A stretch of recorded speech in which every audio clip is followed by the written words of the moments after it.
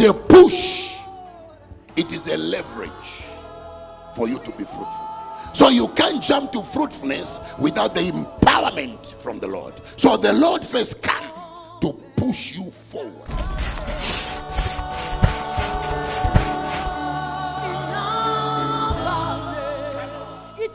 Until you have the revelation that Christ is the great physician, then you will be able to receive your healing. Without that revelation, you can never experience the healing of God. It is off your hands. But now the Lord is bringing it back.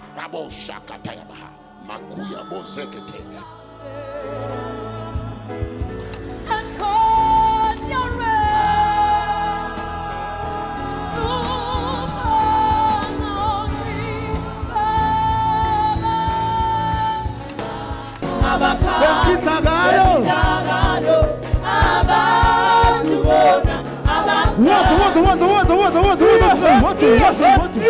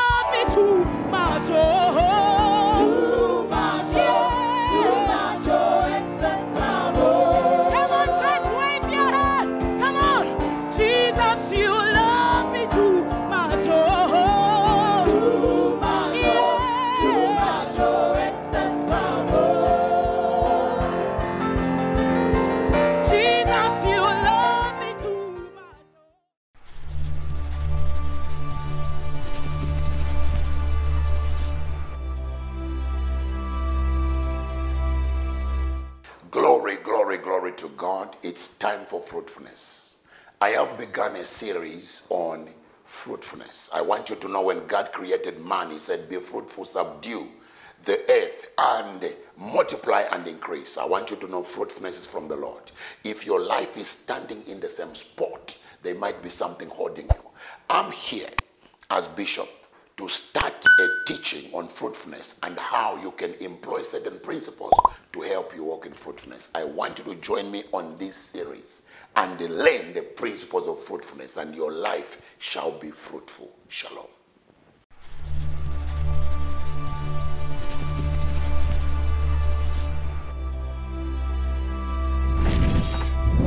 Genesis chapter number 1 and verse 27, the Bible says, So God created man in his own image and created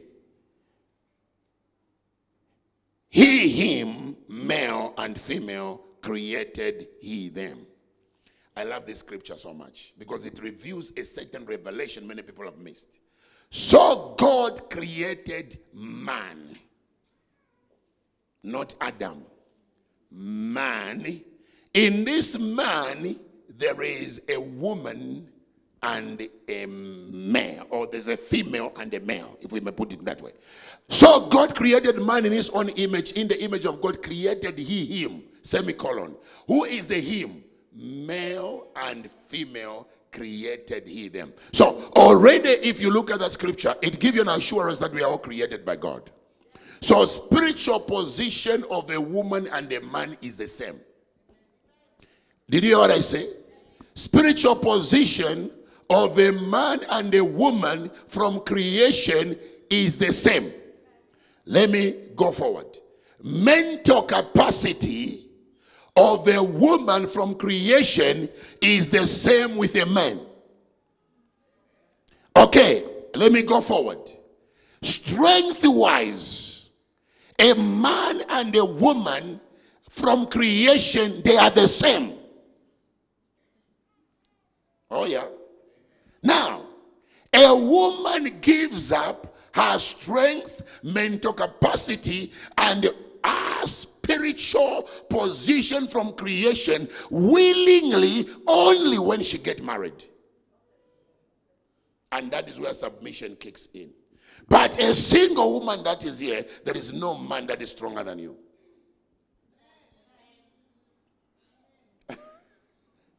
now we must get this thing right. The only time a woman come under a man that she submits her resources, her capacity, mental capacity, her financial capacity, her career, her position. Even if she's a president of the country and she marries somebody who is just a counselor, for example, she is going to willingly reduce her capacity in submission to the husband, not that the woman is inferior. From creation, we are the same. That's where a woman now get tested. That when they marry, they now bring themselves under a man. Give me verse 28. I, I love the Bible. And God blessed them. Somebody say, God bless them. And God blessed them and said unto them, Be fruitful and multiply, and replenish the earth and subdue it, and have dominion over the fish of the sea, and over the fowl of the air, and over every living thing that moveth upon the face of the earth. Now, listen to this God said, Be fruitful. Before fruitfulness, He first blessed us. You will never be fruitful without a blessing. What is a blessing? A blessing is an empowerment, it is a push it is a leverage for you to be fruitful. So you can't jump to fruitfulness without the empowerment from the Lord. So the Lord first come to push you forward. As he pushes you, he activates your brain. He activates your body. He activates your mind. He activates your gifting. That is empowerment. As he activates this thing, then you become fruitful. So fruitfulness, it is the will of God. Somebody shout glory. So anyone who does who is not fruitful must know that it is not the will of God to be unfruitful. Tell your neighbor, I shall be fruitful. That's why God now, in chapter number 12 of Genesis, He brought a promise of fruitfulness. I want to run through this and close and let you go. Genesis chapter number 12 and verse number 1, the Bible says, Now the Lord had said unto Abraham, somebody said, The Lord had said unto Abraham, Get thee out of the country and from thy kindred and from thy father's house unto the land I'll show thee. And I'll make you a great nation I'll bless you and make thy name great, and thou shalt be a blessing. Which means, Abraham, you are alone, but I'm gonna make you a nation. How will Abraham become a nation? Through fruitfulness. Because fruitfulness has to do with multiplication and increase. And I'm here to announce to you, ladies and gentlemen, it has never been in the will of God that whatever you begin remain in the same state. And everybody who is under my voice this morning, you shall be fruitful and you shall increase uh, in the mighty name of Jesus. So whatever you touch uh, is going to increase uh, and is going to be fruitful by the power of the Holy Ghost. Somebody shout, I believe. So God said, Abraham, you are alone, but I'll bless you and I'll make you a great nation. The promise from the Lord is stronger than the curse from the enemy. I say the promise from the Lord is bigger than the curse from your grandmother. The promise from God is stronger than any curse that come from any person that may want to put you into stagnation. Somebody shout, I'm here. So God gave a promise to Abraham and he said, I will make you a great nation. Leave the place where you are. And the Bible says he never gave a promise to Abraham alone, he gave it to Abraham's seed. And who is Abraham's seed? Galatians reveals those who are of faith, those who are born again, they are blessed along with Abraham. So if Abraham could leave the land of Ur with nothing with him, and yet after some years, when you read the other chapters, the Bible says he was great and he was blessed. I can speak to somebody confidently that in the year 2022, the way you began some years back is not the way you're gonna be. The devil is a liar. If Abraham began with absolutely nothing, uh, I don't care how you begin uh, and where you began. uh, I can hear the word of the Lord saying, uh, You are about to increase uh, and you are about to be fruitful and you are about to multiply. Uh, you are about to become a great nation in the name of the Lord. So if you are here and you are looking how you began, it is not how you are beginning, it is ah, how you are gonna end. And I know how you're gonna end. You're gonna end in greatness, you're gonna end in power, you're gonna end in dominion, you're gonna end in abundance, you're gonna end in multiplication. In the name of Jesus, shout power. A lot of people shall look at you this year and they shall marvel. They'll say, When you began, you had absolutely nothing, but see where you are now, and you shall sing a song. Come and see uh, what the Lord has done. There are people right now who can't afford a house, they can't afford a car, they cannot take their children to school. But the Lord is speaking to me right now that there is a season uh, that is coming uh, for the fulfillment uh, of the promises of the Lord. Uh, you are about to enter, Lord, into a promise. you are entering uh, into a rare. Praise the Lord. I need all the young ministers to know I'll be running what we call mentorship classes. Number two, we'll be running open air crusades and also tent crusades. We have a big tent called the Jesus tent. I'll be going in different parts of this nation, South Africa. Should you want to be mentored by me, to be mentored by the anointing God has placed on my heart, you need to call the numbers appearing on the screen and we are going to help you mentor you in your ministry and help you grow. Number two if you want us to come in your area for the crusade and you can spearhead it and organize it. We just bring the equipment. Call the number on the screen and we are going to come and we make sure that we put that crusade in your area and souls are saved and those places where you want holy ghost firehouse to be planted let us know. We will be so much pleased to come and plant holy ghost firehouse for you so that you may grow in the things of god god bless you and shalom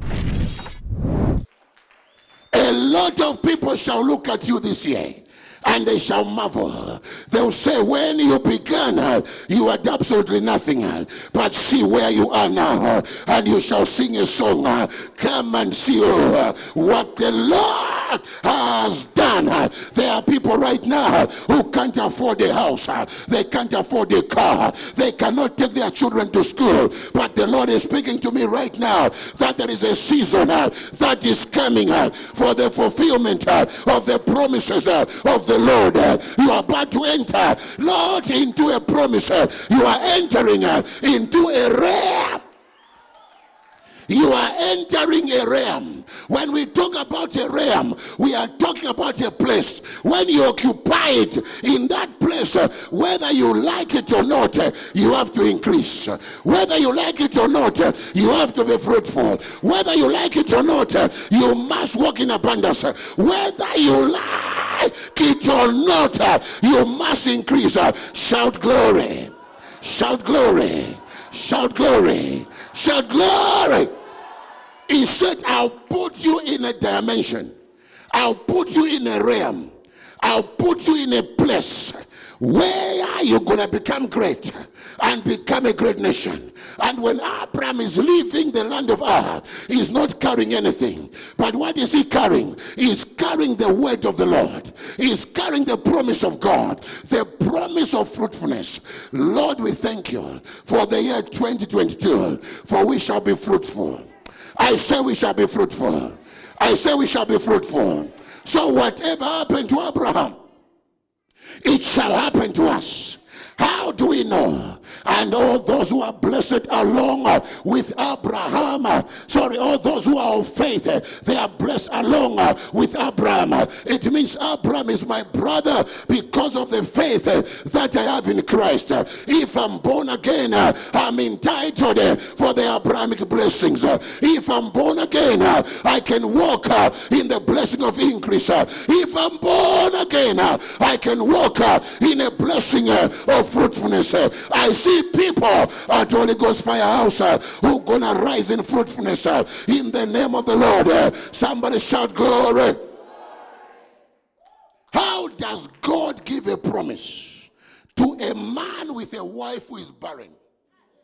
How can you say you become a nation and yet my wife cannot give me children? We have been in the land of Ah. I am now 75 years old. And now she's 65. And you say you make me a nation. Do you know Abraham? I've been married to Sarah for a long time.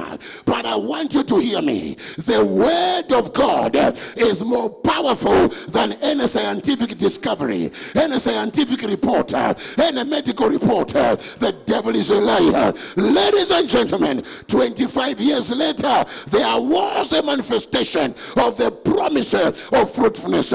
I don't know how many of you have been waiting to see uh, some things changing in their lives, uh, to see some business changing, uh, to see their family life changing, to see their finances changing. I have an announcement to make this morning. What is my announcement?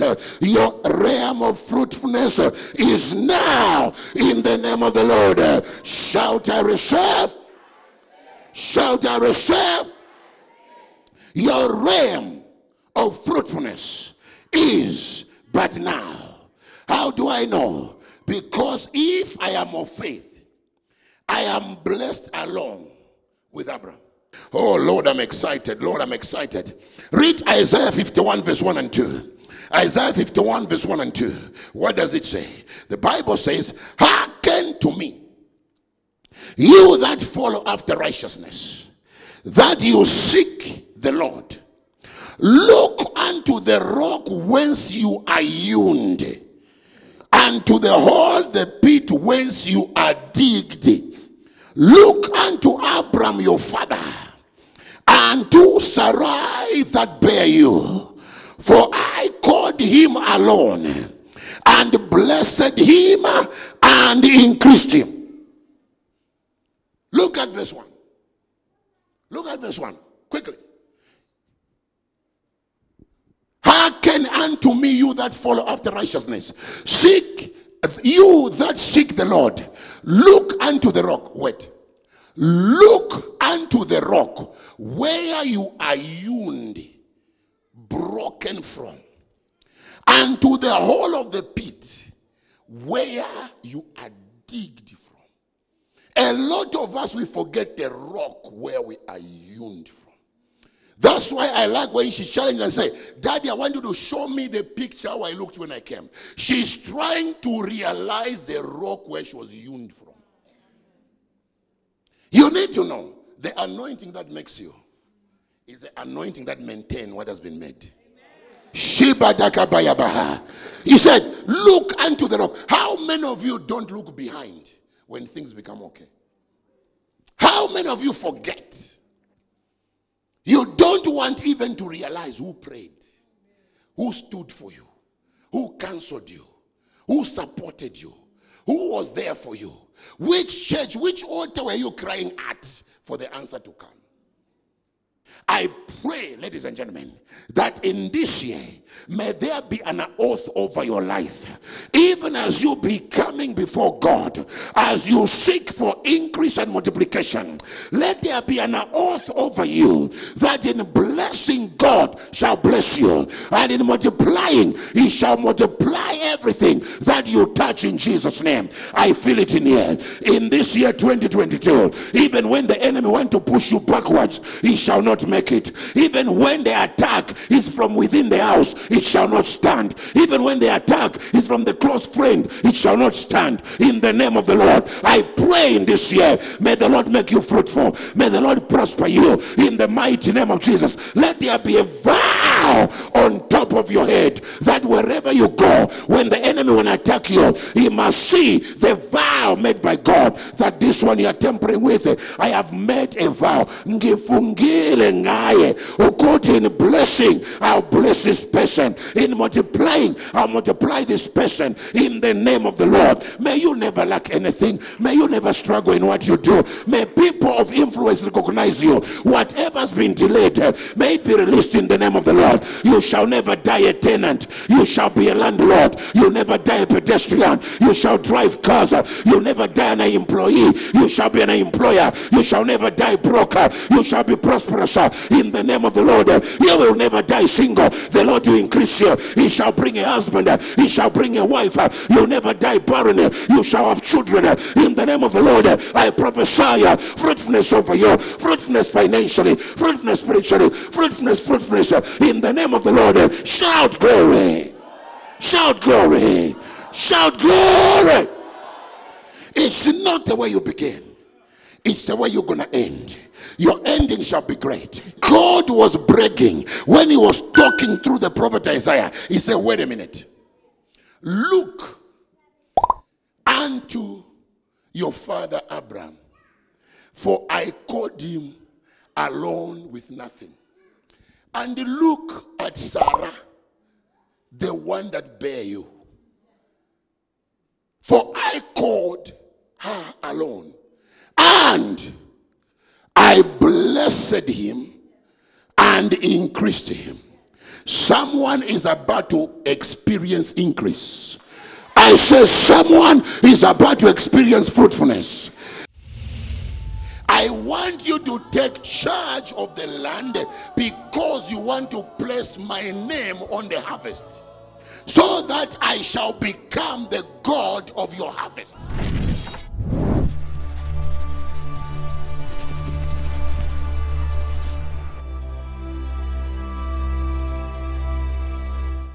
Jesus said, Unless you abide in me, you can never bear fruits. I want you to know for your fruitfulness, you need to abide in Christ. Have Jesus as your Lord and Savior for you to be fruitful. I'm here to encourage you.